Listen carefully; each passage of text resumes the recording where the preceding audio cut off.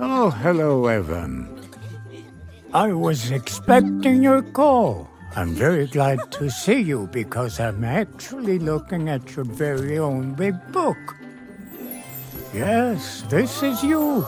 You're eight years old, aren't you?